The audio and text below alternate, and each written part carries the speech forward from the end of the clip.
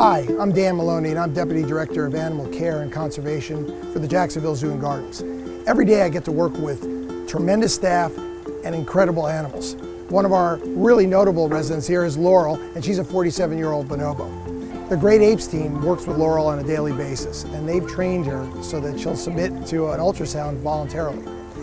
They started suspecting that she might be having some problems and they got our animal health team involved. They looked at the ultrasounds and realized that we needed help.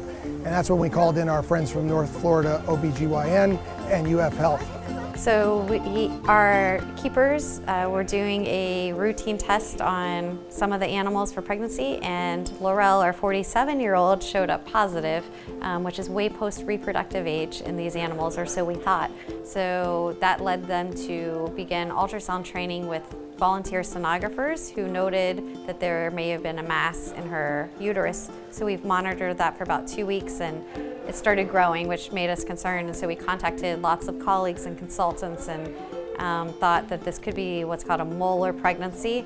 And to our knowledge, this has not been reported in apes before. And so we've contacted OBGYNs and the bonobo veterinary advisors and try to get her into surgery and, and take it out today with the help of our colleagues at the North Florida OBGYN clinic.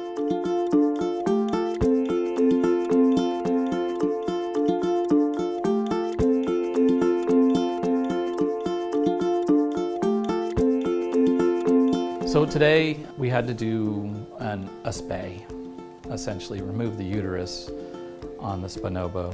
Um, it's an unfortunate medical condition that should be solved by removing the uterus. She did have low blood pressures, but she responded to medical intervention and we managed to get her ventilating better, get her blood pressure up, uh, get her doing more normal physiologic behavior.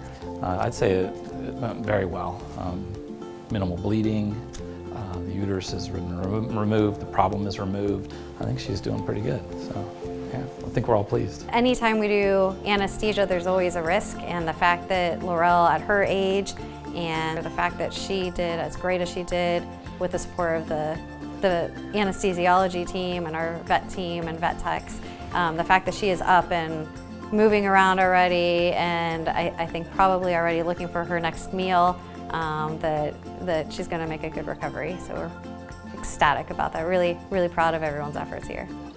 The team did a great job. They worked on her uh, in record time. They found that she definitely needed this surgery. Had she not, she probably would have perished. She's doing really well, better than any of us ever expected, and she's recovering at a great rate. We're going to look at her closely so there's no infection, but she'll be back in her group in no time.